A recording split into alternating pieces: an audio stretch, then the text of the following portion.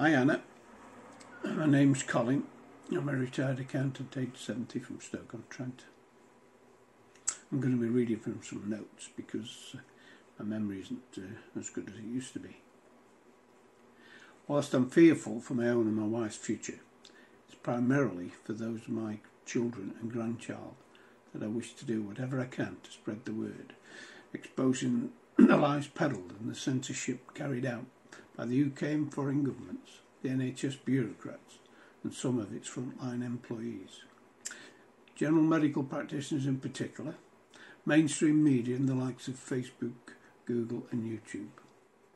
Alternative opinions will not be heard or tolerated by these groups, leading us into a totalitarian or technocratic country. I and my family have numerous reasons to be grateful to the NHS surgeons over the years having heart problems in the genes. But this is no longer the NHS have paid into all my working life. Others have mentioned the wrongs that have been done, so I'm not going to repeat them here, other than to say, why haven't more NHS staff exposed the way it's been run these last few months? Now appalled I am at the behaviour of most of the general medical practitioners who throughout this period put their own health and income first at the expense of their patients' well-being.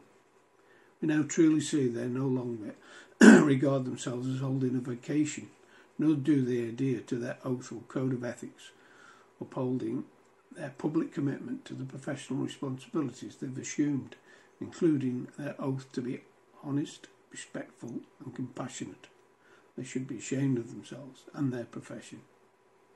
I've not really been interested in the political scene until the advent of Brexit, when I realised just how far the opposition would go to smearing their campaign and still wouldn't recognise and accept that the majority of the votes cast were in favour of the UK leaving the EU and all its institutions. I've been amazed at the pace of that our freedoms of movement and speech have been declining since Boris Johnson took office and at the draconian measures that have been put in place and the number of times the goalposts have been shifted. He was only elected on borrowed votes from the people of the North, which fact he acknowledged but is soon forgotten. He and his henchman Hancock, together with the rest of his cabinet, some of which I initially thought had integrity, but now find are following him and his discredited scientists and policy blindly. They haven't got the guts to admit that their errors have been made handling the scamdemic nor to change their stance. They need to be removed from office before it's too late and the plan for the future of the human race is fulfilled. At present, and without violence, I see no way to get rid of them, as votes of no confidence by Parliament, or by power of recall on each one, allowing voters to force the by-election where an MP is found to have engaged in serious wrongdoing are both non-starters. We'll have to wait until May 20, 24th the next general election, by which time I fear the plans will be all but complete. Even then, what's the alternative party to vote for? We need another Brexit party to come to the fore, but we know how long it took to get Mr Farage's parties to yield results, so I hold little hope there. Nigel's still in the fray, only this week trying once again to expose the illegals entering the country, being aided and abetted by the French and UK governments. Their housing of 48,000 illegal immigrants, presumably trying to claim asylum, many without passports, so purposely making it difficult to identify their origin. Some in four-star spa hotels costing the taxpayer over £4 billion during the next 10 years.